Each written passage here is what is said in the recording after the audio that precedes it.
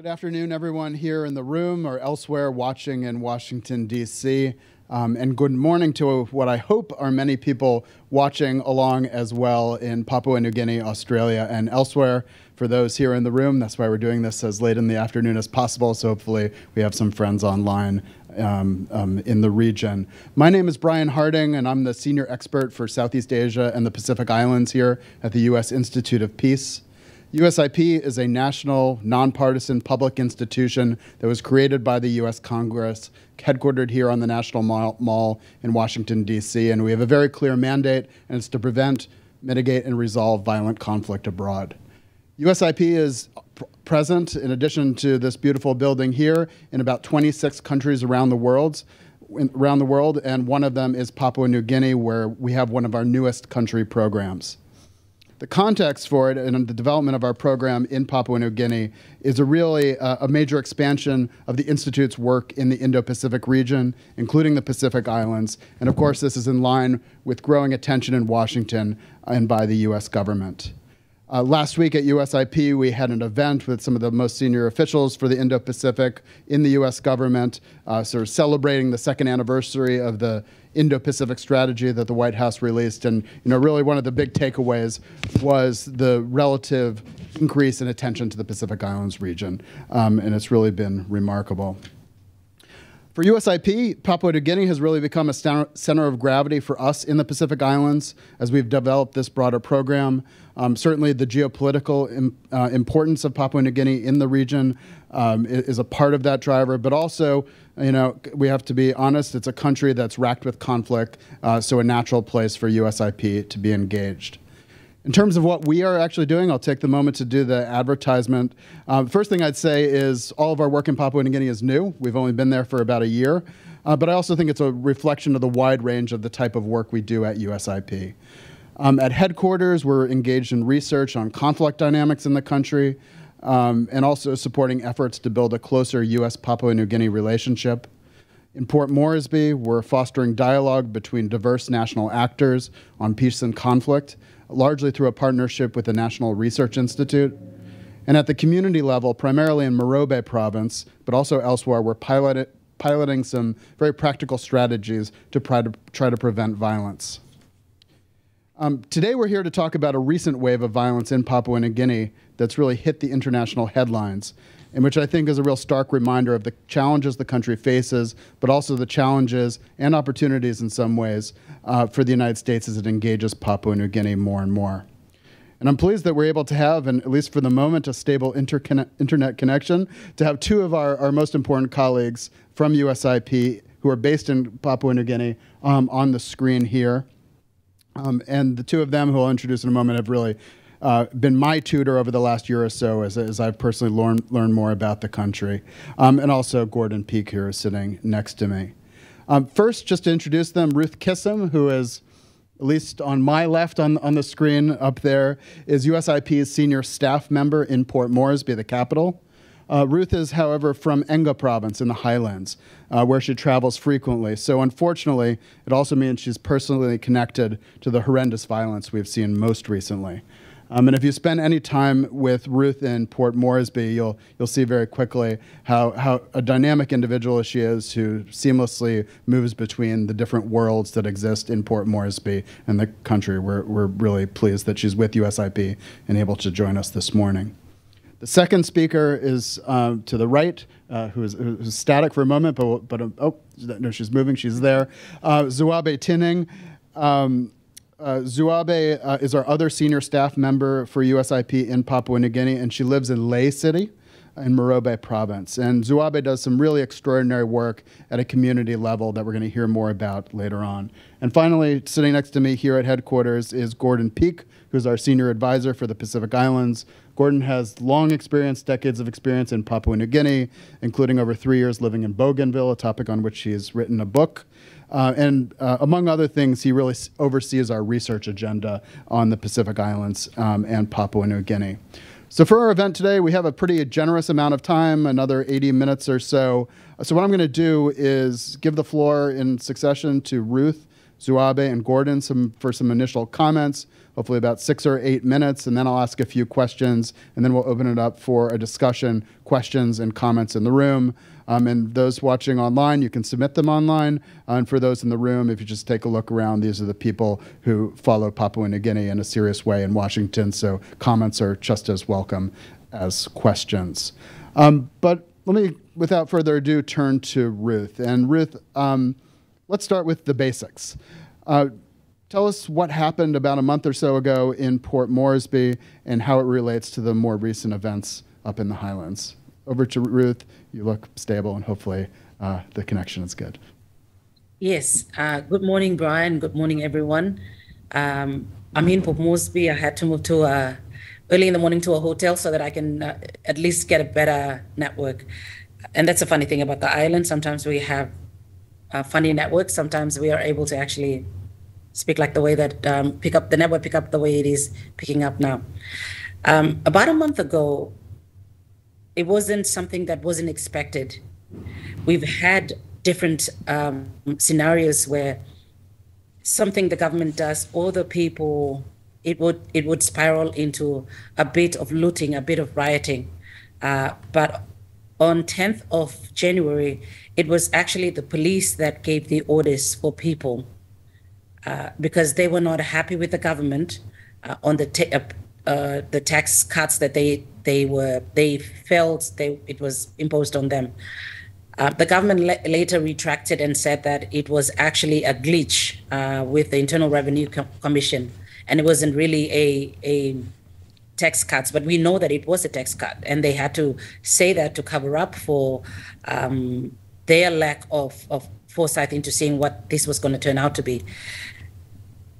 I work with a lot of community um, leaders across the city. We run safe houses. We work with women and vulnerable and marginalized uh, young people. But what we saw was not only the ones that were marginalized that went out and did the looting, it was the public servants. Uh, it was also the working class. It was people that you would think would not even um, drive their vehicle up into shops and um, actually help themselves to the looting. Uh, that really showed something that in a lot of cases we refused to see, which was um, there was no state. There was no uh, state in place that people would respect and say that we have a rule of law, or even for people themselves to say that uh, it's morally wrong. What we saw was it was people were just driven by uh, a mindset of poverty that they wanted to at least get anything they want. Now, one of the funny things that we also realized was this: there were certain shops that were not even touched. Uh, there were, and I'll link this to what happened in the Highlands. There were certain shops that were not touched. Most of the shops that were um, looted were those that have been in the country for a very long time, but they belong to a specific ethnicity. Um, one was the Stop and Shop, uh, which is uh, Indian Fijian that has been in Papua New Guinea for a very long time 30 years. The other one was um, an Australian um, who came back in the 60s, Brian Bell. And he's been, and he's both of them are foundations that have been working in communities. One would think these were two shops that no one would even bother touching because um, these are the ones that work with community. These are the ones that work with civil society, with the government, and have been around for a very long time, faithfully paying their taxes. Um, but no, they were the first ones to be looted. But what we saw was some particular shops, Chinese shops, shops on the periphery where you would think would be the first to be touched. They were not touched. Now they had people protecting those places, gunmen protecting those places, uh, the premises where people couldn't get in and even loot them because they knew that those places were guarded. They knew that these places had guns that were protecting them. So no one bothered to touch those Chinatowns. Uh, no one bothered to touch those shops, but they went after the shops that was it belonged to just about everyone in the community. Now, um, with after the aftermath, uh, the aftermath saw a lot of Papua New Guineans struggling, especially within the city. Uh, I'm sure Zuabe will talk about what happened in Lae, but with us, we saw in our safe houses women uh, that were raped inside the shops that were looted, uh, that were killed inside the shops that were looted. We've asked people to come forward, but we don't know the exact number as of now, even though the government has set up a commission, uh, which doesn't include women on, on the board. It's all men uh, to find out about what happened on that day. And that is something that we feel women's voices have also not been taken into consideration, given the fact that um, a lot of the shopkeepers that were inside those shops that got burned down uh, and those that lost their lives were women and yet we don't have the numbers that have come out. Some are saying it's in the hundreds, uh, but what to what extent and the exact number we still don't know. Even to this day, the, the reports have not been filed and tabled uh, for the public to to uh, to access.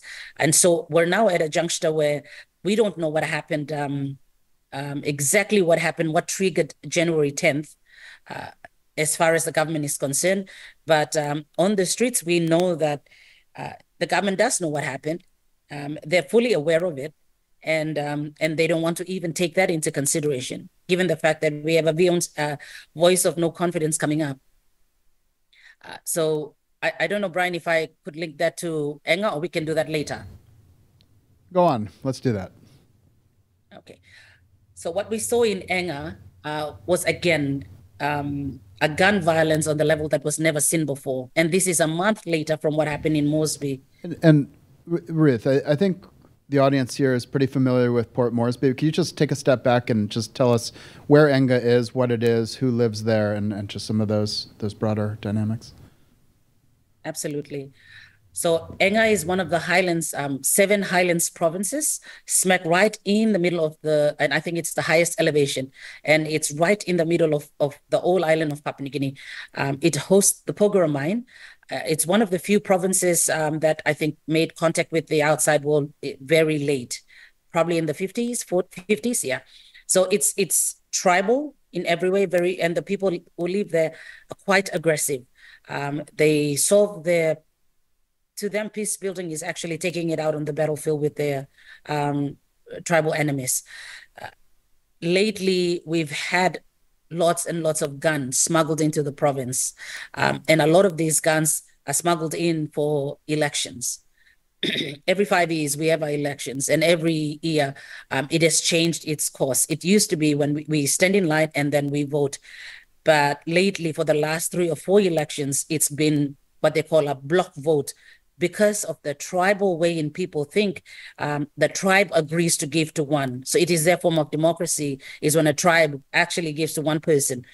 And um, and if two people from one tribe are actually running for the same seat, that's where you find conflict. So there, there's been the buildup of arms uh, by aspiring politicians, by businessmen to protect their business. It's just people have been doing that. Uh, what we saw on Sunday um, last week was something at a scale that we've never seen. We've always had rules of engagement when it came to tribal warfare. You don't kill two men from the same family in one uh, warfare. I'm in Engan. I'm I'm about three hours drive from uh, my village is three hours drive from where the killings happened. We don't kill uh, women and children. We don't um, burn people within the house. You only engage with your enemies at the tribal field. Those are the rules of engagement.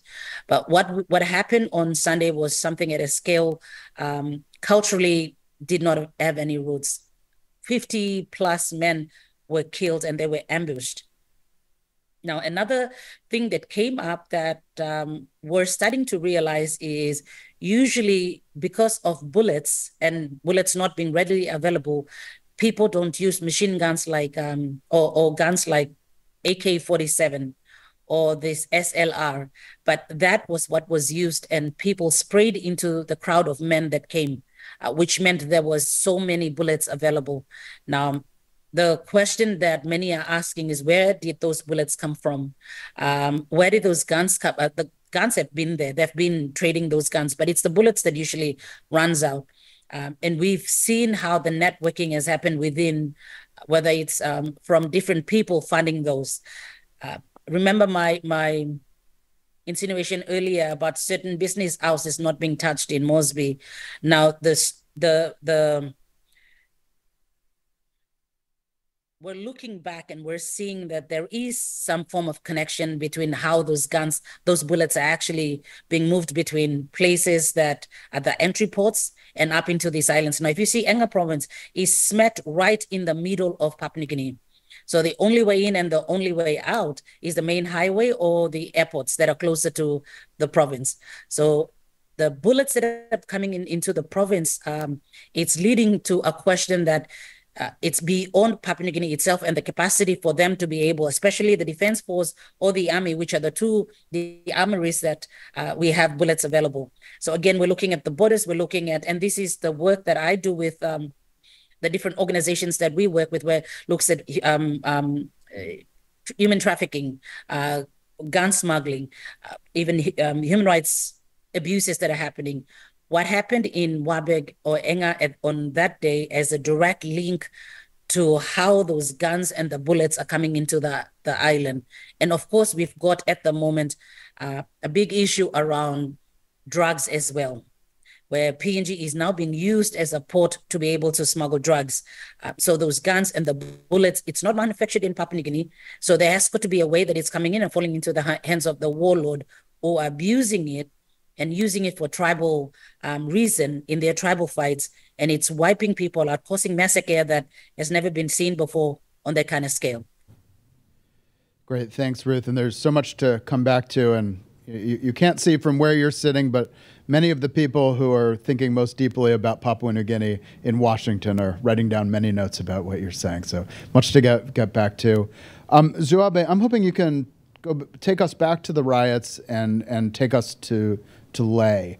Um, certainly, there was violence, but and seven people were killed at the same time as these riots were ongoing in Port Moresby. But at least, you know, reading the headlines and sort of trying to watch the news, it seemed like it was less generalized looting and mayhem. And Zuabe, you work directly with exactly the type of people who might be involved in such violence. So we're hoping you can just share what those days look like in Lae, who was involved, who wasn't, and any lessons that, that you might have taken from it.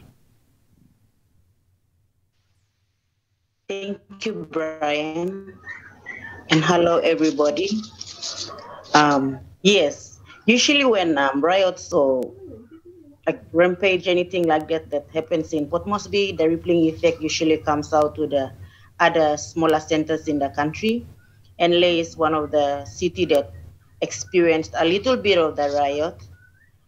Um,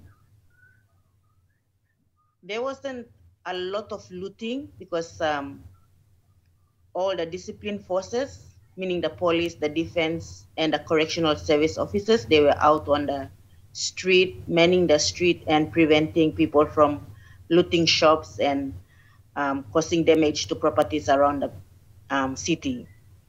So that was about Lae City. Even though we had 50 policemen that were flown down from um, Lae to Port Moresby to contain the situation in Port Moresby, we had the other two disciplined forces that joined the police and they were on the streets ma'am, maintaining order.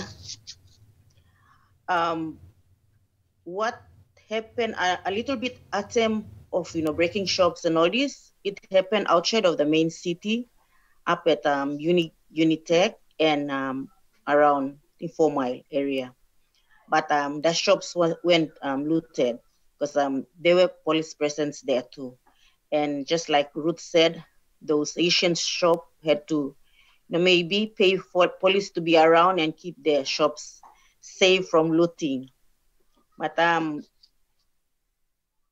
what I was interested in during that time, because most of the time when such thing happen in Port Moresby, um, the youths in Lae usually get out on the street and they they do a lot of damage to the properties and cause a lot of trouble on the streets. But during that time, we didn't have that. We only had a little bit of unrest, just like half a day, and everything went back normal the next day. So I um, there went a lot of people um, injured. They were they said there were about two to seven who were killed during the that um, half day riot, but um, numbers are not really confirmed yet. The youths were interviewed later that week uh, on um, what they were doing during that um, week of um, unrest, and the youths that I, I was working with, they are usually from the outskirts of Lae City in the settlements where most of the, you know, illegal activities are um, evident. Most of them, they go into violence and they, they, they, they usually be the first people to participate in um, rioting and looting of shops. They didn't come out that time. So I asked them why, um, what they were doing during that time. And they said, it's nothing to do with us. It's, it's, um, it's the public servants issues. It's about the, them paying tax to the government. We are from the community and we live on, you know, market, table market. And we need the shops and the market um, in our communities to be open so we can continue to do our business and survive from what we are doing here. So um, the youths didn't come out. They saw the situation as um, something that belongs to the public servants who, who usually pay tax to the government. For them, they only do informal marketing, so um, they don't pay tax. And they said it doesn't affect us. So we don't need to get out there and do something nasty and get ourselves into trouble. So those were the responses that we I received from the um, the youth leaders that I was um, in my program here in Morobe province. Great. Thank you, Zuabe. And just broader context, I mean, some people in this room know you and know about your work. Um, Zuabe, she can explain it better than I, but works with um, male, young male perpetrators perpetrators of violence who are sort of check themselves into faith-based self-help organizations, and Zuabe works with them in a really sophisticated ways to think about masculinity and try to get out the, the root causes of violence. So I think there's a lot to follow up there. She truly is in the community about where she works, where she chooses to live. Um, so so I think there's a lot lot to be gained from there. And we'll we'll get back to Zuabe in a moment, but I want to turn it to to Gordon. Um, you know, you've written, and, and I think pretty boldly, um, that the violence, and maybe that's what you can do as a, uh, somebody from Ireland who's in the mix of thinking about issues in Papua New Guinea and U.S. Papua New Guinea relations, Australia Papua New Guinea relations. But you've written about the what you say are the failings, the governance failings of the Papua New Guinea state, and I'm hoping you can talk us a little bit through about what you you've written um, and a bit on what um, you know the world's focus on Papua New Guinea might uh, you know, mean for thinking about the responsiveness uh, of the state. And I know you have some other writings related to policing, but let's let's get to this first bit first. Great. Yeah, I mean, I, I think maybe it is partly from coming from Ireland, but also I was taught as a writer to write what's in front of you, to write what you're actually seeing. Um, and I think really Ruth captured it well when she said that the events of, of 10th of January showed that the state was not there. And sometimes that we can kind of we see uh, a state in Papua New Guinea that actually, when you look behind it, is about as substantive as a kind of movie set in a way. Um, one of the most iconic sets of footage of the of the riots was a was sort of footage that was taken from the office of the prime minister and, and cabinet of Papua New Guinea, where there were people kind of shaking at the gate trying to get in, and the gate managed to hold only because there was one little lock that managed to keep it um, from from people storming it as well. And I can vividly, I spent a lot of time in, in that office, and one of the most, and I, I traveled with some USIP colleagues there, uh, including Zuabe last February, and I remember the most my most abiding memory of being in those offices is how few people there are in the offices. They look rather grand from the outside, but when you look Inside, there's very few people there at their desks, sort of uh, working. And I think this is the sort of dilemma of, of governance in, in Papua New Guinea that you have a state that is being a lot is expected of it, but actually when you look behind it, it's not um, it's not doing particularly very much. And geopolitics that you mentioned, Brian, earlier on, I think sort of amplifies that uh, that that that situation and also exposes, I think, the dilemma that there is in anyone who is sort of wanting to engage with and wanting to work with, wanting to kind of support Papua New Guinea and the people of Papua New Guinea to to address some of the, the, the, the violence that my colleagues you know, have so eloquently described and work on and work on every day. And the dilemma is this, which is that states work on having productive relationships with other states. That's the nature of the state system. Um, states are meant to forge that's what the Vienna Convention, like that's the, the way by which states work. They're meant to forge productive relationships with other states. And that means forging productive relationships with the elites of other states. And as Sir Ruth has kind of uh, alluded to, there's lots of questions about the elites in, uh, some elites certainly, in, in Papua New Guinea and their desire to actually kind of address this.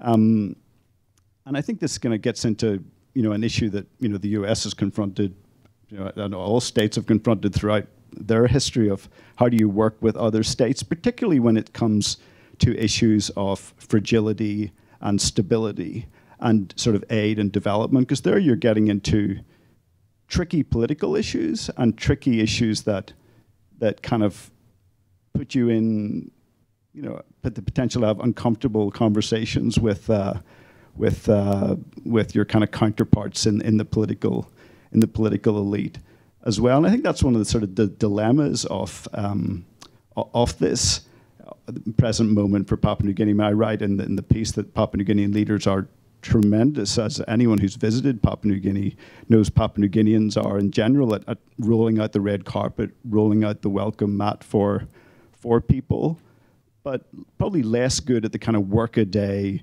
instances of, of governance that, um, that, that are kind of required to make the state run. There was a report that was done by the Australian National University about a decade ago, and it looked at the, um, the Papua New Guinea state's performance in health and education. And the, the, the, the, title of the report was really vivid. It was a lost decade. And the statistics for sort of health indicators, education indicators, um, have sort of flatlined in, in the decade in the decade since. And I'll give one other example about the sort of the dilemmas that I, I wrote a piece on this that's on the USIP website one of the dilemmas of sort of getting this, the Papua New Guinean state kind of working, um, getting it activated. And that's something that was announced by the previous administration um, in uh, APEC in 2018. Australia, uh, the US, Japan, New Zealand have, have uh, embarked upon a really important, a really, really vital, um, practical, and geostrategically important uh, project to try to electrify the country, where there's only 15% of the country is electrified. The reason why Ruth had to leave her home in the capital and go to a hotel is because she couldn't guarantee that there was electricity at home to be able to have this call. And yet, when you look at some of the reports of that project, it sort of makes, let me see, I've got, you know, it talks about chronic crisis. It talks about general dysfunction. These are sort of quotes that we pulled out as, as well. And I think that sort of shows the dilemma that there is for, for any state wanting to work with Papua New Guinea, which is, is, is sort of that, that sort of that tension between Papua New Guinea's elites knowing that they're being courted geopolitically and the, the the need to actually make the state of which they are part, the state of which they are head of, the, um, the state that to um, to kind of work for the people of Papua New Guinea. And you saw on January 10th just how it didn't how it didn't work. This really expensively, extensively trained police withered away in large part. Um, so it's uh, it's I think it shows the sort of the, the difficult sort of point you are when we talk about fragility so let's dig into that a little bit. Um, this question of policing, it's something you've worked quite a bit on, got your start in the Pacific Islands uh, region on, and, and as you said, you know, the police sort of faded away, and that's what Ruth said, and also just this broader question of, of security forces, um, you know, had, had some positive um, impacts in private security, um, as Ruth was discussing. So um, clearly the PNG police have been expensively and extensively trained um, and there's going to be an instinct to do more.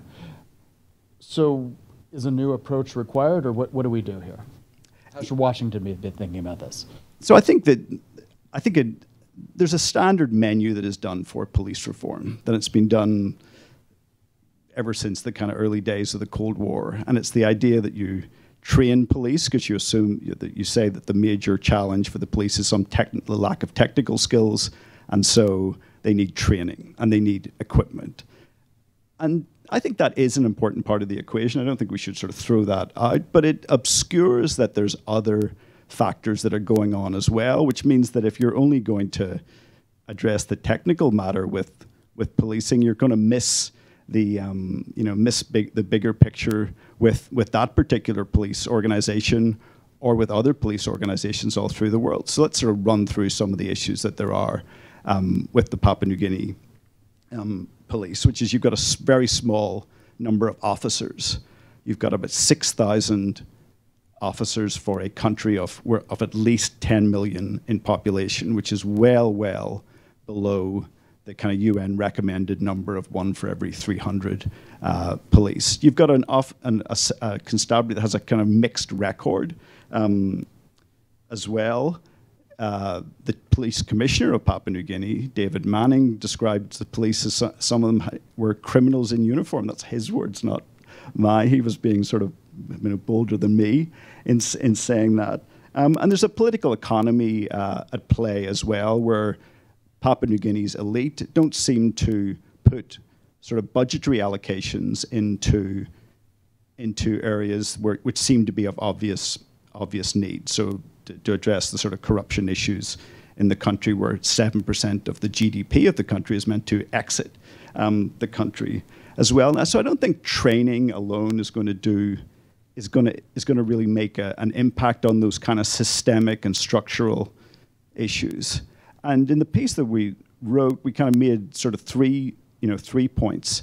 Um, the first one was to sort of was to continue what we're doing. It's police are constantly being trained. It's in the kind of nature of police um, to do that. But second, to look at what that the fact that the majority of policing, as in the maintenance of order, the, the is actually not being done by people in uniform, but by sort of the two of the colleagues that we have in, in front of us here, people who use their networks and connections uh, to to um, you know to help police and maintain order um, within their communities. There's there's been a long list of uh, survey findings which find consistently time and again that when Papua New Guineans are, have the choice of going to someone for safety, security, and access to justice, they actually don't go to the uniformed police. They go to clan leaders, they go to religious leaders, they go to members of, esteemed in the community like Ruth and Zuabe. So I think it's sort of for us, it's it's it's about kind of recognizing that. There's a bunch of really interesting literature written about something called policing coalitions. How do you try to network together people so they can all work uh, together on, on that? And the final point I think about thinking about the, the police is is sort of digging a little bit deeper into into kind of the into questions around elite capture, questions around the political economy that the police are working within. USIP did this before my time. I was in this room when it, when it was launched. This terrific report that looked at the kind of behind the uniform features of what happens in policing in Ukraine, our security sector more broadly in Ukraine, in Mexico. They did one in in Egypt. And I think that will provide a kind of set of insights that will show that sort of training alone um, is a is a part of the equation, but it can't just be the only part of the equation uh, as well.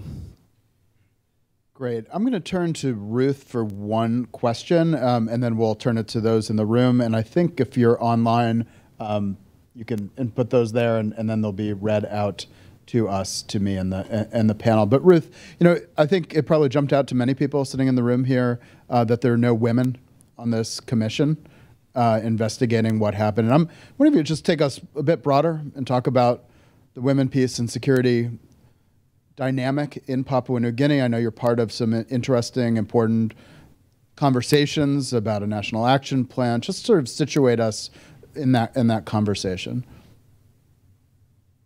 Absolutely. So the UN Charter 1325 um, for women, peace, and security, uh, we don't have a national action plan in the country. I think there's about 130 countries in the world uh, that do have a national action plan, but Papua New Guinea doesn't. And that is one of the things that um, we've we've pushed for at the civil society. Uh, have been pushing for to have. The country needs one. We have uh, what we call the Gender Secretariat, um, but that is more to deal with um, issues within the country. Uh, that is now clearly showing up in every sector we're seeing. Um, even in, in, in the political arena, we only have three women in parliament, uh, while you have 50% of you know the population, not 50, but more than 50% of the population being being women. Um, we've tried to have reserve seats, but that too has been kicked out of par- parliament, which is basically um, predominantly men.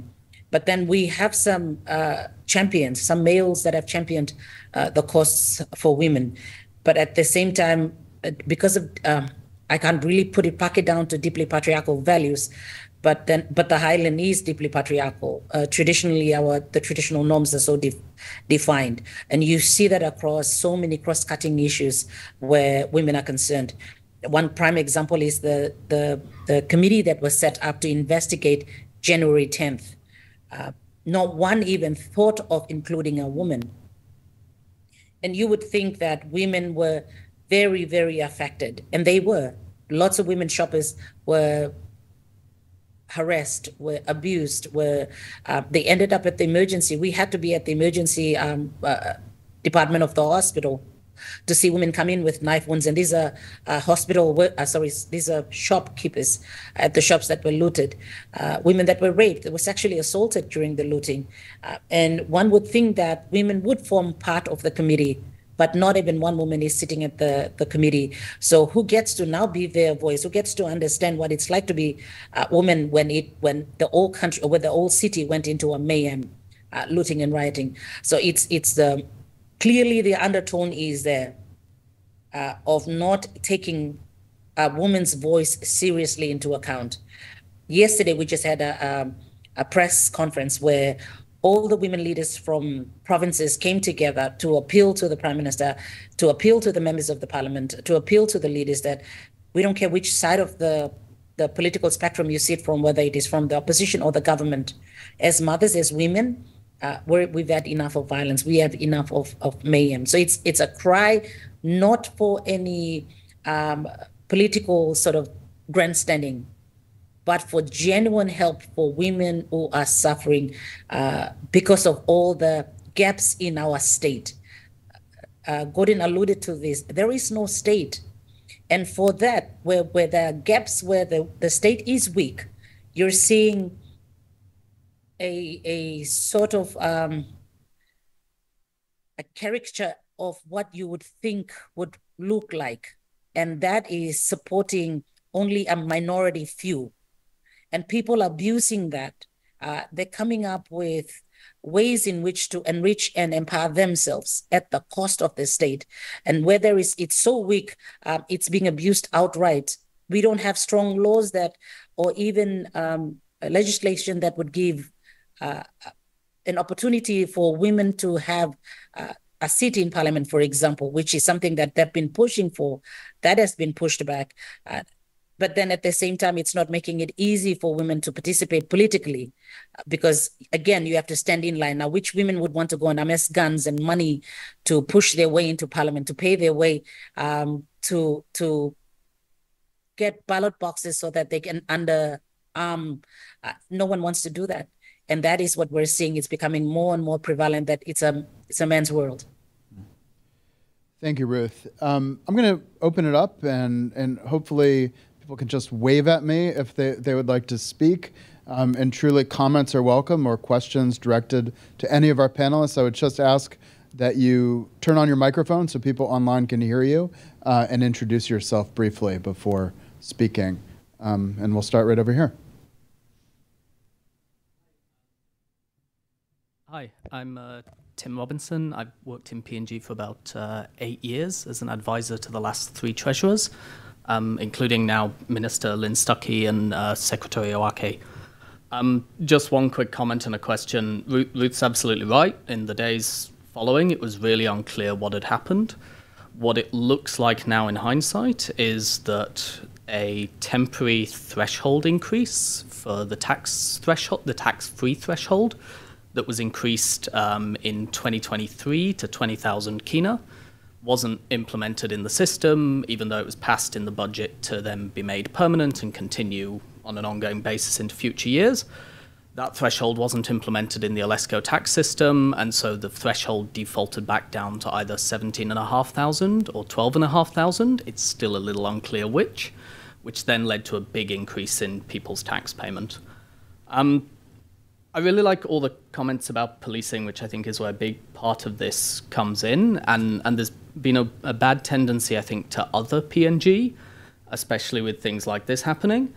And I, I think if we looked at it objectively, if the police said they weren't going to enforce laws in Washington, D.C. tomorrow, people here would loot. I, I would go to Target and loot. It's, you know, it's, it would happen in any country in the world.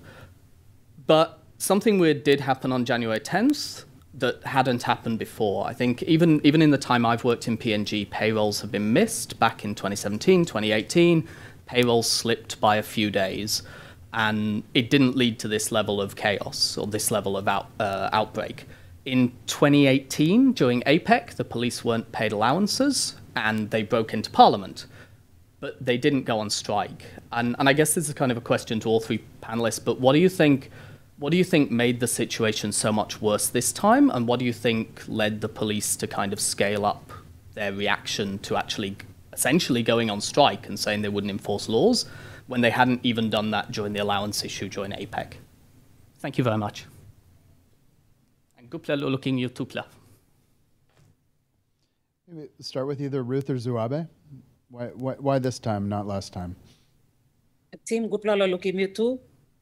Uh, morning lo you. I think what happened that I would um, pinpoint down to is the buildup of the political instability and the resentment with people um, things went in 2018, there was so much hope. 2017, 2018, people were looking at their life uh, as in it could get better. It could get, um, you know, there could be something that would make our lives better. But the the downward trend of basic services to um, the inflation that was happening to the point that the money that people were receiving was not enough to sustain them. This is something that um, you could see happening that led to this. There was so much dissatisfaction. There was so much, um, even no no trust in the leadership that we have in the country. We've had fuel shortages that have led to um, airstrikes. We've le- led to a lot of things that it was a buildup. Uh, the frustration that we we felt in the past wasn't as bad as what is now the the, the feeling, the general feeling around not only Port Moresby but the rest of the country. It's like fe- people don't feel their government where it really should be um, felt. So the build up to the point that the frustration wasn't able to, or people just went out on on that's that's my take on it. It was people were fed up to the point that they just wanted to um, destroy what little was left of what they called a state. Gordon, why don't you jump in and then I'll sort of ask a ask it a slightly different way for Zuabe. Great. Um, I mean, I endorse everything that, that, that Ruth said, and this sort of build up. And I mean, it was the sort of sense of a kind of a, a, a, a watched pot sort of boiling over um, as well. I've got lots of friends and, and family in, in Papua New Guinea, and I look at the challenges that everyone has in living kind of normal, you know, quote unquote normal normal lives, where even sort of people in the middle class are really struggling uh, struggling to get to get to get by, and this sort of sense that of, of sort of endless frustration as well. I think riots are, are the riots are also interesting. What's interesting about this is we don't actually. Um, well, the real reasons why we wanted to have this event was we wanted to actually remember back on it because we, as a tendency, we all as human beings have a tendency to think ahead. It's really striking how little there's coverage there has been about this this incident um, in, in, the, in the months since, when James Marape, the Prime Minister of Papua New Guinea, went to Canberra, it was not mentioned at all. I mean, partially that's for reasons of kind of diplomatese, but also it's interesting that it's not, you know, not mentioned as well. And Papua New Guinea, is, is as Ruth and Zuabe said, this has happened before. It's also happened in Solomon Islands in in uh, in 2022. It happened in Tonga in 2006. And I think these riots, which are kind of just outbursts of you know, frustration with the way by which the state, whether that be the state in Papua New Guinea, the state in Solomon Islands, and the state of Tonga, is is run is something that's really worthy of sort of unpacking and thinking thinking more about in terms of fragility. There's a, a colleague of ours um, who's been doing a terrific set of research projects on on on Solomons called Anouk Ride, and she's written and and, and th- thought more deeply than I have about what do riots signify, um, as well. And it's really striking. I think that we should, you know, I think it's an opportunity. I think this is this is one opportunity to kind of reflect uh, on that because it's a whole complex of different of different issues, and unless we kind of unpack those issues, and we've sort of done it like lousy policing is one, but kind of cost of living, lack of hope, um, is um, is is really worth doing. I, Brian was sort of right, but I mean it was a quite a sort of um, full throated piece I wrote, but I wrote it because I was really upset, and I wrote it that uh, the morning that I of the, off the riots, a friend of mine's niece had committed suicide. And she committed suicide because of her kind of complete lack of faith in, in sort of the fact that tomorrow would be any better than it was today. And there's just a general sort of malaise and hopelessness, I think, in large parts of Papua New Guinea that this, uh, and I channeled my sort of annoyance about that into the piece, but I think that there's a general malaise, and I think it's worth sort of anyone who wants to sort of help or you know, and to assist to kind of reflect on what that what that is. I mean, why is it? Why is Port Moresby a city where most people in this room can't walk the streets? What does that say about the sort of everyday state that there is? Zuabe, you, you brought us the relatively good news story that, that things weren't as bad as they could have been. Um, and, I, and I sort of spoke for you a little bit, but I'm, I'm hoping you just take this opportunity to just share a little bit more about the communities you work in and maybe some of the more specific stories of, of, of who didn't get involved, um, who might have otherwise.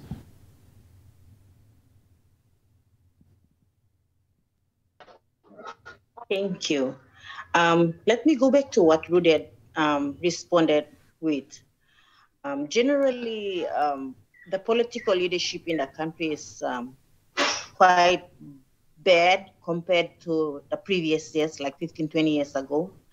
Um, what I've noticed was um, like poor attention to the workforce, the government workforce, and there's um, also there's no attention to the people in the community.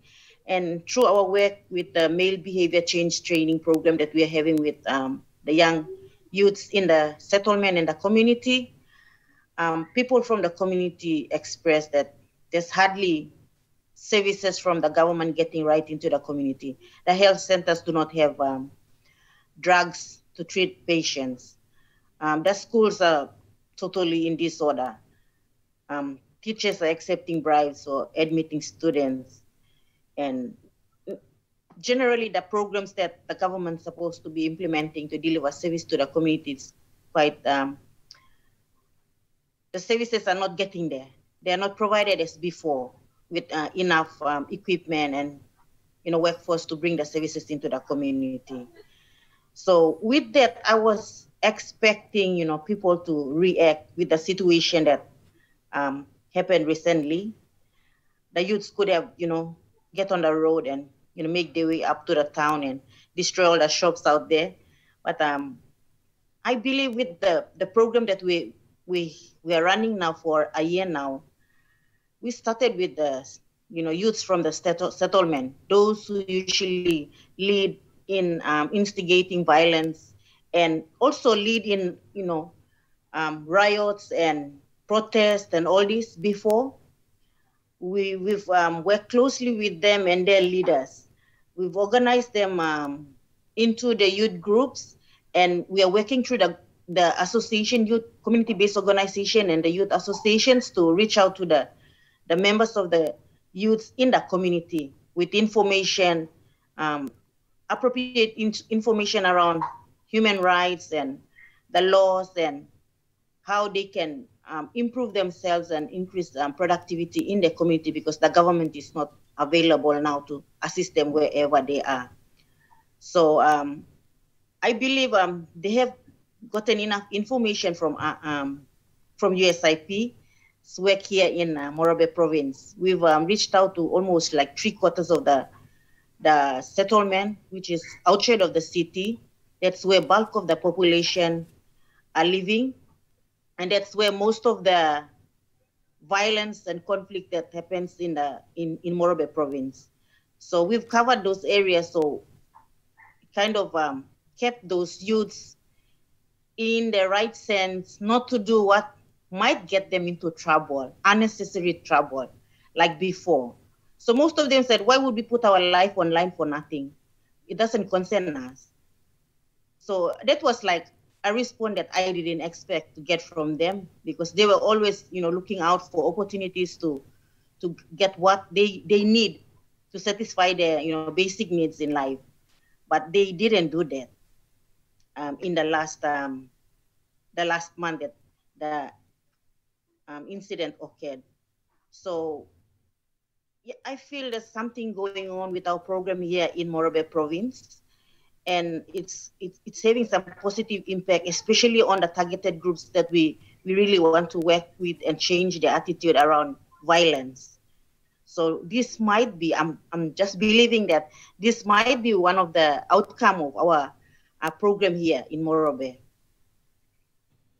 Thanks. And I, I would encourage anybody interested in, in, learning more to go to usip.org. We have a, produced a 10 or 12 minute video of Zuabe working in the community with these leaders, um, sort of brings it all to life a bit. Um, who's next? Uh, Matt, why don't you introduce yourself? Hi, uh, Matt Hudson with uh, Department of State, CSO Pacific team. Um, so one thing uh, I've noted in the time I've covered Papua New Guinea is uh, a lot of things come to quick ends when when I, I, and that's kind of part of my question. So, Ruth, you'd mentioned the the lack of a, the state uh, during the riots, and Zuabe, you mentioned the next day things were kind of back to normal. So, my question is, if if it's not the police uh, or effective policing bringing these riots to an end, how or why do they end?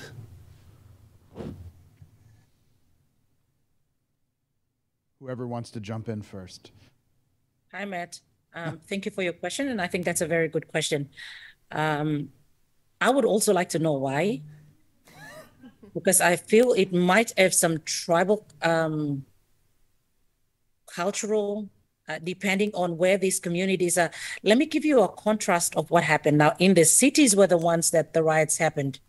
In the other 22 centers around the country, no one touched anything apart from only one province up in the highlands, one of the newer province, Jiwaka, which capital has a um, conflict around where it's supposed to be by the tribal leaders around the the the, the town.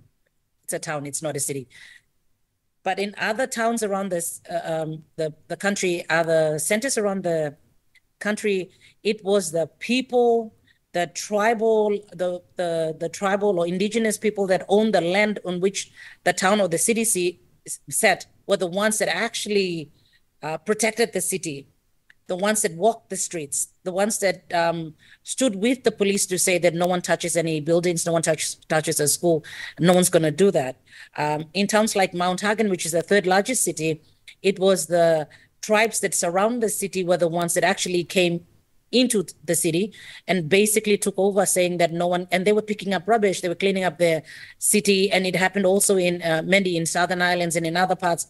Um, in Enga um, exactly the same thing business as normal. It was the two main cities uh, which were has had all the government um, departments that um, had all the business houses. Um, Lae is the, the the economic capital of PNG and the port city of PNG, and of course Port Moresby is our um, where the Parliament House is. Those were the two two um, centers or the cities that had the rioting. Everyone else, it was business as normal for them. So good question. Um, it stopped because there was, I, I, think, there was no support from the others. Um, majority of the people that live in Lae and um, Port Moresby, you have the huge or biggest uh, population of settlers uh, people that come into cities and towns and squat on uh, government land uh, in uh, looking for a better life for themselves, better access to health, education for their children. But a lot of them squat on land that does not belong to them, so they build little shanty towns. Um, and those were, and, and not only them. Were, I mean, when people looted, everyone looted, but you have a large number of settlers in those two two centers. Now, people are now pushing to have the va- vagrancy um, act passed uh, so that people that do not have any work and are not um, engaged in any formal employment should be sent back to their own provinces. Uh, but then in the provinces where majority of these towns are, nothing happened. People went to school, went to work, uh, and it was business as normal. It was only one or two incidents where opportunists started blocking the highway and all that. But um, like I said, um, th- those were the only two uh, centers that had disturbance. For others, people tried, but it didn't get anything beyond um, amassing. They got quick, quickly dispersed by security or the police. And yeah, like I said, it was business as normal. I don't know if I'm answering your question. Zuabe, do you want to jump in? Or Gordon?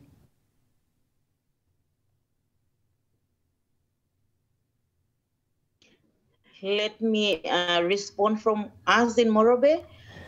Um, with Lae City, we have a very good supportive um, MP, and he's the deputy prime minister at the moment. Um, he's got a very re- good relationship with uh, the like the public servants, not not the public servants only, but um, especially the police. And um, he, he he had a program. He has a program that um, engages the youth to kind of um, clean around the bus stops and around the city areas, the drains and all this, and keep the city clean, and also help to um, control petty crimes at the bus stop where women get harassed and the bags get snatched. So there is a program that's running that he's running at the moment that's um, engaging youth as well as the youth supporting the police in managing the towns and cities, especially the bus stop where a lot of um, violence against women happen. So um, when that um, situation arose, um, the youths that were around that, that those areas, they, they they kind of supported the police in you know controlling the situation in the town. So they were speaking to the PS not to do what uh, what is not right. Yeah. So I believe for Morobe, it was, I think we had some very good programs on the ground that already, like the MP is supporting and, and um, it's already like happening for almost like more than five years now. So um, that might be the outcome of um, what we didn't um, see going from um, bed to west. Gordon, did you want or let's uh, let's go to an online question. Yeah, so we have a comment online saying there is a domino effect across the country, and social media played an important role in this domino effect. The riots and looting emanated as a result of this disruptive effects of integrating into a digital economy in PNG. Um, so there's no question here, but maybe curious to hear thoughts on how cybersecurity needs to be upgraded to curb new threats, and any thoughts on kind of the role of social media. Wants to jump in? Yeah, I mean, I, I can I can jump in. It's a it's a you know it's a comment as a, a question. I mean, like all of us, lots of Papua New Guineans spend a lot of time on, on on social media and are getting information from you know WhatsApp, from Facebook, from from you know YouTube, and I think it's an underexplored territory as to what the role of social media is in terms of either giving negative messages or giving kind of positive messages. Um, there's a concept in political science which is a, called the jumping scale, and it means that with things that used to be able to happen isolated out in the in place X would never really filter into the capital city. But actually, because of social media and because of how interconnected we all are, things that could happen previously in isolation have these kind of ramifying ripple ripple effects. Um, and I think it is something that's sort of worthy, uh, worthy of examination. I wake up most days to, a, and I'm sure Zuabe and Ruth wake up to many more of them, to like tens of videos of some of which is pretty, pretty horrendous of the of the violence that actually is going on in, in Papua New Guinea. That is less headline grabbing than this, but is the kind of everyday uh, violence that punctuates and permeates um, so many lives. So I think it's something that is worthy of further examination. And I'll just give a plug to Brian mentioned the NRI um, researchers. We're doing a very small research project at at USIP that is actually looking exactly at the at this issue and trying to get at what can we discern and what can we learn from uh, from social media usage. Can it be used to dampen things or can it be used to uh, in, inflame things? And we're really, I think, into uncharted territory uh, with it, and I think it's something worth worth thinking about and reflecting on. And I thank the, the commenter for, for their question. Um, got a Drew Pat. I saw his hand up. Then Andrew, and then over there. Hi, my name is Drew Podnag. I'm with the Department of State Desk Officer for Papua New Guinea. Um, so I think the timing of this is very interesting um, because it came ahead of the the grace period on the vote of no confidence. I think some people, I mean, I think explicitly folks in the government have said, you know, that was a bit of suspicious timing. Um, but you know, in the weeks after the rioting, um, Prime Minister Marape was not particularly concerned um, at how these riots might affect his ability to stay in power. And in fact, he, he left the country to go to Canberra and address the parliament, where he was, you know, the first Pacific leader to ever address the, the Australian parliament. Um, and so, in talking and thinking about the sort of divorce between what's happening kind of at the, the local level with the desperation people are feeling and sort of at the elite level, I think Prime Minister Marape has, over the last couple years, really raised his regional profile. Um, so I guess my question here is, you know, if there is no outlet for people um, within the political system, and it seems like, you know, from what we're seeing on open source, um, you know, Prime Minister Marape still has a pretty solid political coalition. Doesn't necessarily look like it's likely that he'd be removed. Um, you know, where do we go from here? I, I mean, are these riots going to become sort of a, a regular feature? Um, in the months and years moving forward? Um, or is there some other sort of way um, where there can be some accountability for the government? Um, yeah, thank you. Ruth, do you want to take this? How it intersects with politics? Uh, Drew, thank you for your question.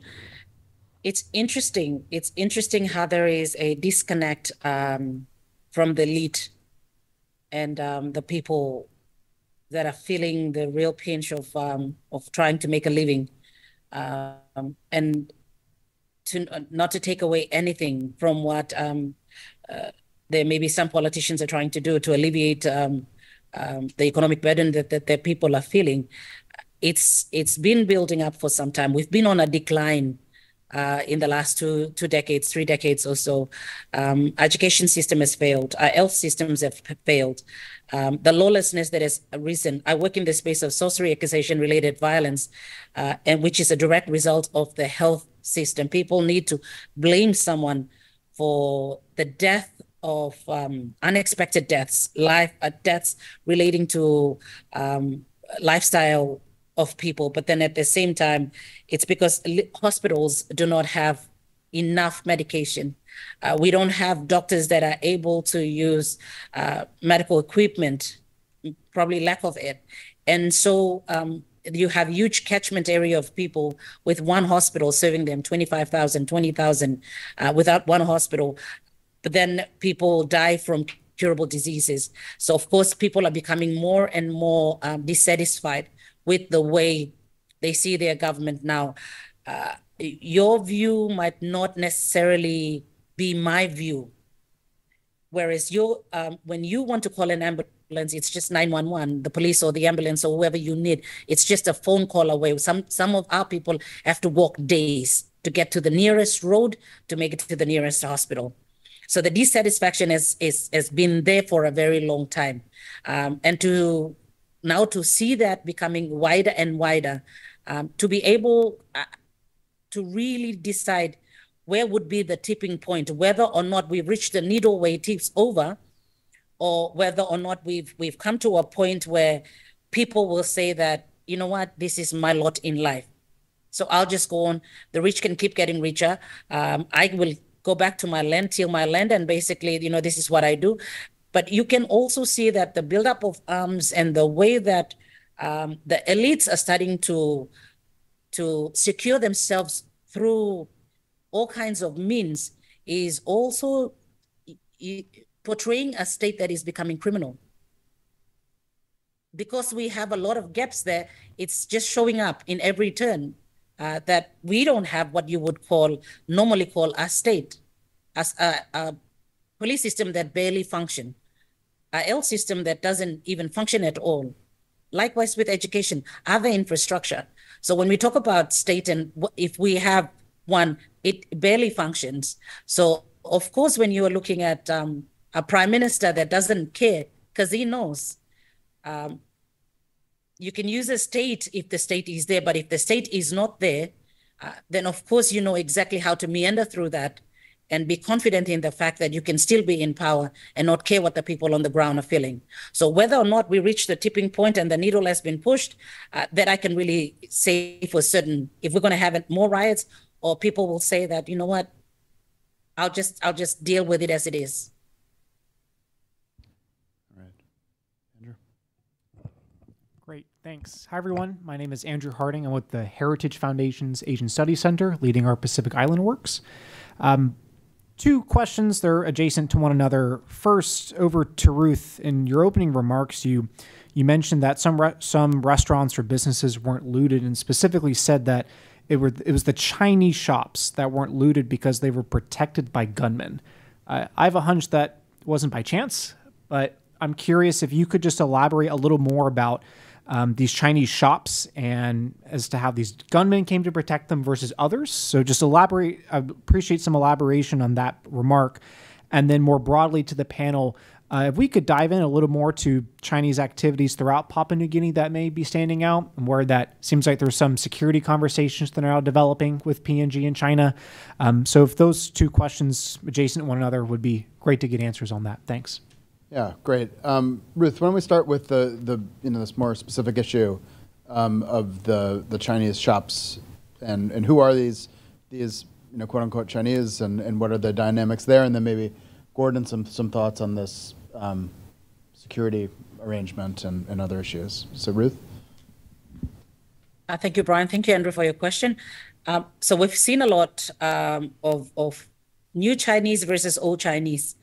Uh, we've always had Chinese in the um, Chinese towns in Papua New Guinea. We've got members of parliament that uh, um, makes Chinese. We've we've had Chinese businesses in the country that have put in a lot of development um, into what we now have um, a, a, country. But then we've had a late influx of um, uh, Asian business people that have come into the country. Um, some of those business houses were not even touched, and they are on the periphery on this, of the city where they're very, very near um, settlements.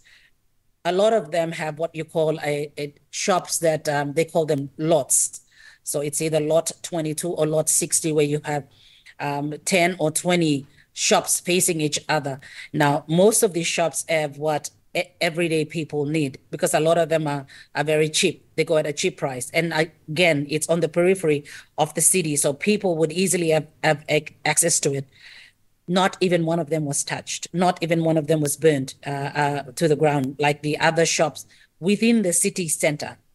Um, and that brought a lot of questions of how could these shops be not I asked around for a few people why couldn't um, these shops were touched why didn't you to the young men that were robbing shops, to the women. And they, they were like, Do you want us to be shot dead? Because they had people standing on the rooftops with guns. And some of them were foreigners. I mean, not some, most, most of them were foreigners. And they were st- standing at the rooftops of their building with guns. Now, whether or not um, some of these guns were registered, we don't know. Whether or not um, they were um, guns that were issued um, by security firms, we don't know.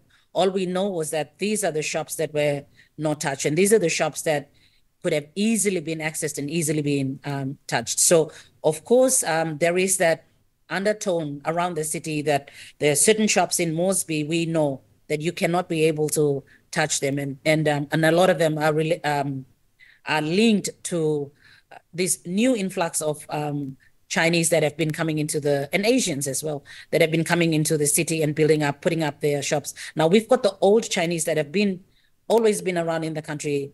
Some of them got looted, uh, but not the new ones. So, Zuabe, anything you can share um, in Lae? Um, sort of on these general dynamics and, and where is China? I mean, this is this is you know one it's no secret one of the one of the reasons why Washington is more and more focused on Papua New Guinea and Pacific Islands region generally is because of competition with China, right? So sketch out where China is or or isn't um, in Morobe province. Thank you. Um, from what I'm observing here in Morobe, um, the Chinese have, they're already in the communities. They're with the people right at the peripheral of the city and right at the peripheral of the community. Um, most of the shops that Papua New Guineans own are rented out by Asians, not just um, Chinese, but Indians as well. And they they have very good relationship with the community members. They employ them and some of them are engaged in their kind of um, informal sales of the products like carrying t-shirts on the street or um, earpiece mobile phone earpiece and speakers on the like they, they take them out on the street and do street sales. So that's how um, some of the ways that the asians are doing in in um, doing business here in morobe province. So they they're kind of um, they've mixed well with the community and they're doing their business using the community. So um, I think because of that relationship, maybe one of the reason might be because of the relationship, the good relationship that they have with the community had um, kind of protected them and their businesses. Um, second, they also kind of um, provide support to the police forces and in in such situation like what had occurred they they provide food and funds to the police so they they are around them or near them to provide that um, security that they need. So that's um that's with morobe province. The asians are already in the communities and they're living with the people. There are some intermarriages already happening there. And the business are kind of they've got them involved in their business, so that had kind of secured them to be there in the community and doing business.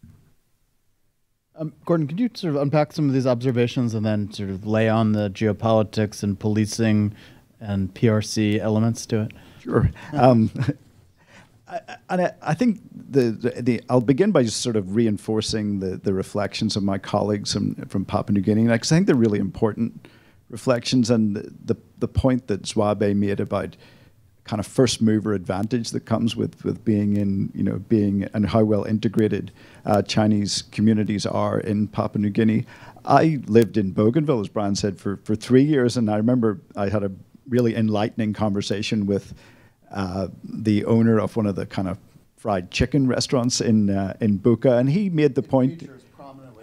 Gordon's book. It features prominently in my my in my book. It's well worth visiting once. Um, but he said he sort of said he said sort of words to the fact of he said you'll be here for a few years, but we're gonna we you know you know we're traders and we you know when we come to Bougainville we'll we'll be here for a kind of long time. And I think that's sort of worth reflecting on, and just in terms of the kind of relationality of this this this place with people aren't perceived as states like China or the United States. They're perceived as people.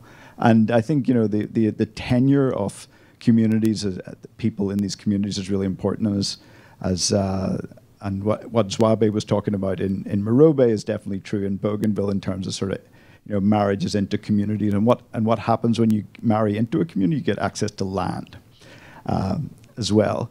The wider kind of geopolitical point that you allude to about a month ago, the foreign minister of, of Papua New Guinea, Justin Tkatchenko, was in Beijing and he sort of made a sort of an announcement that was a sort of trial balloon or a, or a way to get attention or a serious thing. It was hard to, to know that that that Papua New, that China had offered Papua New Guinea assistance after after the riots, and that got everyone frothing, you know, about what it could what it could could mean. And it's very similar to to what happened in Solomon Islands after the riots. Very similar sort of style of of of doing it, and we focus on the kind of you know Chinese playbook in a way, but there's also a, a, a an elite playbook here as well within the Papua New Guinean elite, which is if you mention Chi- if you mention the C word, you know that you're going to get more attention uh, from Australia or from the United States. So it's a kind of it's a known button that you can that you can press.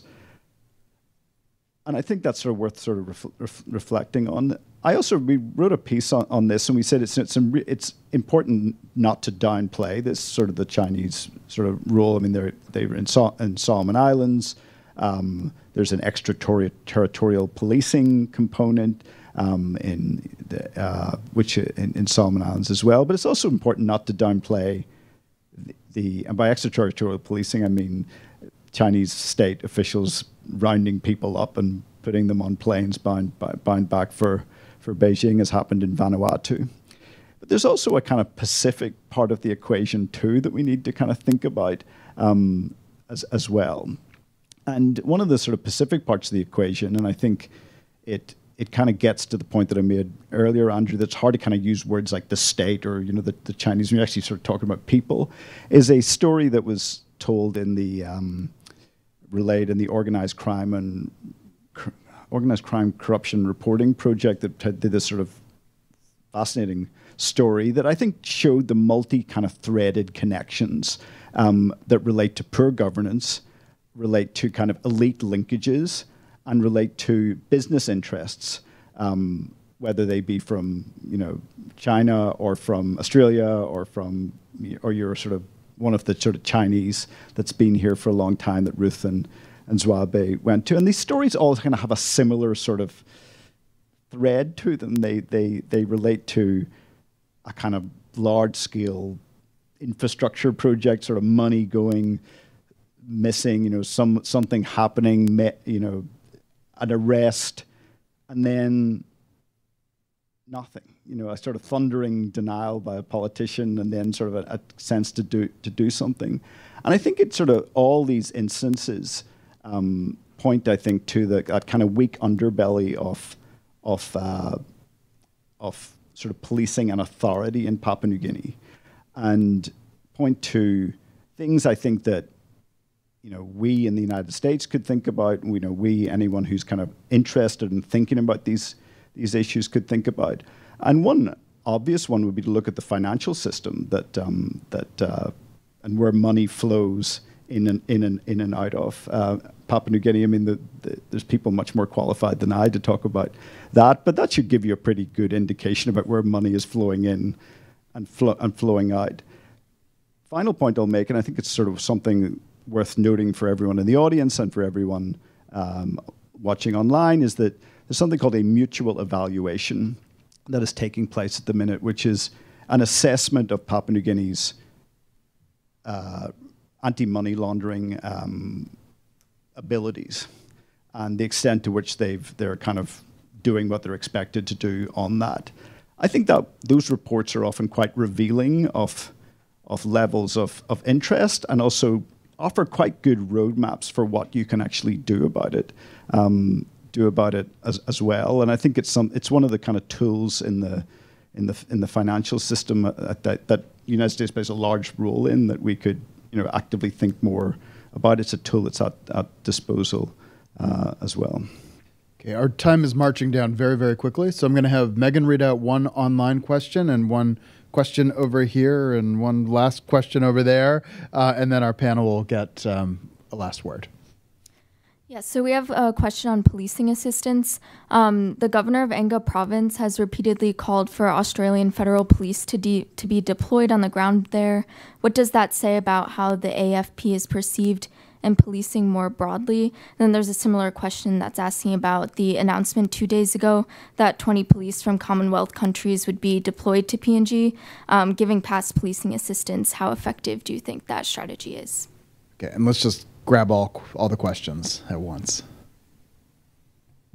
Uh, so my name is Rowan Travis. I'm also from State CS. So uh, my question is related to uh, you've kind of uh, shown this progression from dissatisfaction to violence uh, and then the violence causing more uh, dissatisfaction and just seeing what other inflection points, especially in the areas you were talking about, education, medicine, fuel shortages, uh, that we might see in the next six, eight, nine months, um, causing more of these uh, newsworthy levels of violence in the future. Great. Finally. Lauren Sauer, International Foundation for Electoral Systems. So I have two questions. One is, what do you see as the priority investments for stability, um, given the discussions of whether it's policing, whether it's more peace, peace kind of interventions, and what kind of incentives will do elites need in order to finally deliver services for citizens? Okay, all great questions. Um, let's go to each of our panelists and hopefully in some combination, everybody will have addressed all of them. So we'll go Ruth, Zuabe, and, and, and Gordon. Ruth, certainly the, the question of Enga, um, you know, for you. So the governor of Enga has been um, for quite some time asking for the intervention of the Australian Federal Police now in the wake of the violence last week, um, this is the, his call has been going on for some time since last year. Before that, uh, but not not after the violence um, on Sunday. He's calling for AFP was basically around um, uh, the governance of police, um, with to work with police on um, good police morale boosting. We've not had police training after they go to the, the academy, the police academy. A lot of the policemen that we have in the country right now um, have not gone for further training after their first uh, uh, and some of them have been in the force for 30 years. Some of them been in the force for 20 years, 10 years. Now, this is a, a country with um, high threshold for violence. So you're, you're, you have policemen that are exposed to violence over and over. So their discipline now becomes a problem again. Uh, Gordon, you made this statement about um, uh, our police commissioner making a statement about policemen are criminals in uniforms. Now, it's it's not that. It's just that their behavior is. Now, this is a police force that has the worst ratio in the in the world. Uh, you said 10 million Papua New Guineans. Well, UN said we've got 17 million Papua New Guineans. So let's do the math. You have 6,000 policemen that is policing 17 million uh, people. But of the 6,000 policemen, uh, one third, uh, two thirds of those policemen are desk police officers past retirement age. So you've got one third of those 6,000 are actually active duty policemen. So you can just imagine how hard it is for 2,000 policemen to police 17 million Papua New Guineans. So having the AFP over is not going to do anything. If anything, it's actually going to make it worse because you have tribal people that will see foreigners encroaching on their land. So sending AFP up to Enga is not going to solve the problem. If this problem actually has to be dealt by Papua New Guineans in Papua New Guinea, fix the state, um, the law and order issue that we already have here. Um, I think there was another question around um, the violence that how can we be able to curb this? Uh, and one of the things, I think it came from someone from the electoral. Um, so one of the things that we can fix this is getting people elected into parliament uh, through demo- democratic means, not having people that have usurped the power of the people using violence and guns because then people are not going to respect whoever the member of parliament is. So fix the electoral system. We don't have an electoral system in place that people can go and vote. Uh, we don't have even the um, census, our census updated. So right now, the members of parliament have the power to actually boost the numbers in their own electorate. So if they want to boost the numbers in a certain place that they know that they have supporters, they can do that. So you would have 10,000 people in the support base of those members of parliament. Now, if we have a good census where every Papua New Guinean is actually in the census, they could easily be able to vote people in. Maybe there might be one of the things that um, could end the violence. And overhauling the system, lastly, overhauling the old system, this is, uh, like I said, a state that has problems and there is as loopholes everywhere. So overall of the police system could be a fair start into how we can be able to address this. But otherwise, it's the old state, the old statehood. There is no state. Zuabe, a minute of last thoughts.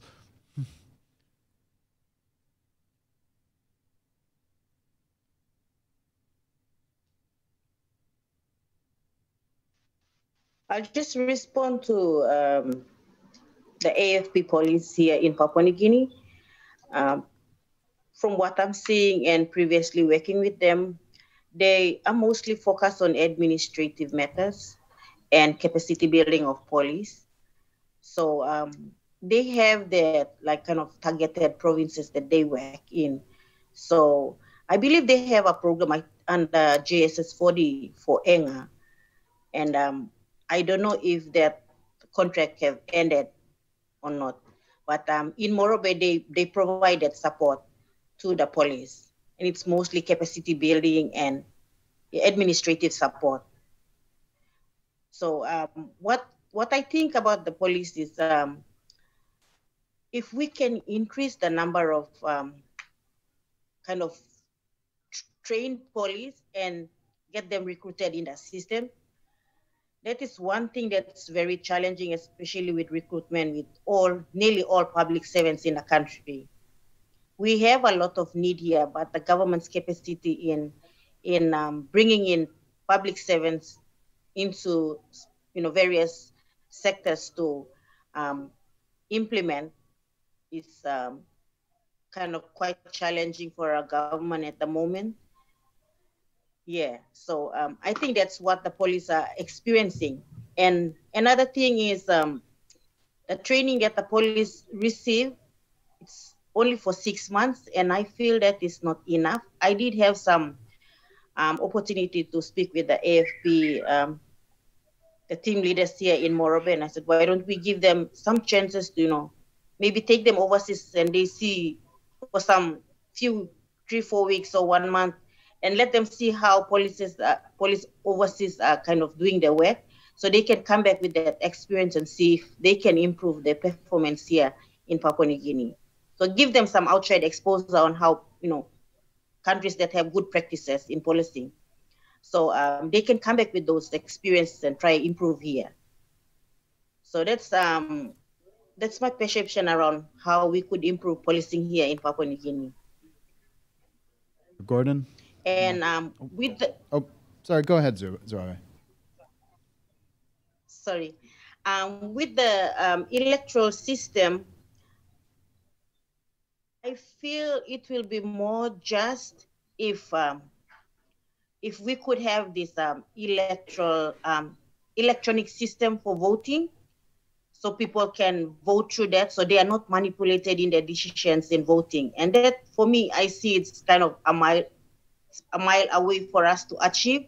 Our census are not updated like in the last 10 years, maybe. And and the systems like the electronic system cannot i mean it's a challenge for the electoral commission to have the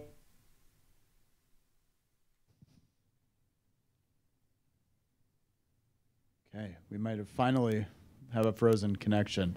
Um, i think we did really well. Gordon uh, thoughts? so the sort of crystal ball soothsaying question i mean it's a really important question. It's you know it's hard to predict so if we're going to, to people to give them a fair go in elect we still have a long way to improve on that problem that we are seeing now, especially with election really in choosing the leaders.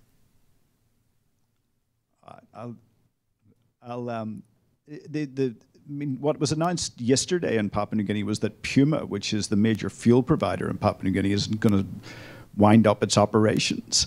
Um, in it's like three or four months ago, this happened. There was a sort of a consternation and like we would all have it we couldn't put fuel in our in our vehicles and some of those knock-on effects that, that Ruth was talking about I mean the it didn't raise the temperature right over to boiling point but that seems an, an obvious thing to um, to address the incentives thing I, I, think the electoral system is something I think the electoral system and the census are what, what are donors good at they're good at do, they're do, they're good at doing technical things that are divorced sort of from maybe from the from the politics of it. And the census seems an obvious thing to focus on.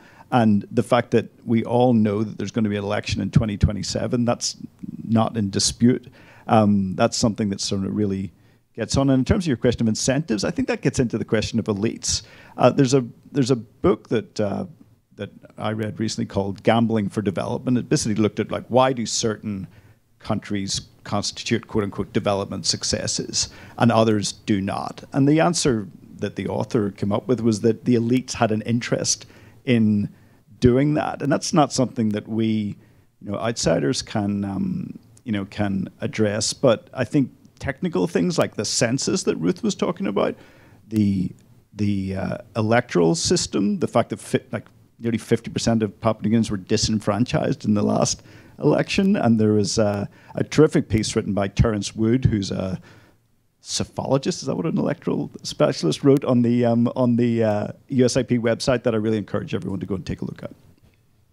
Great, thank you, Ruth Zuabe, Gordon. Um, you know, clearly Washington is more focused on Papua New Guinea than at any time in, in recent memory. We're doing trying to do our small part uh, with work in the country, but also using our, our incredible staff there to connect and and and bring a little more knowledge to Washington. So really happy that we did this. This was a little bit of an experiment. Uh, if we could just have our own staff, um, you know, us calling the meeting, and hopefully a few people would show up, and enough people did. So we'll be we'll be sure to do it again. So thank you so much for for joining us.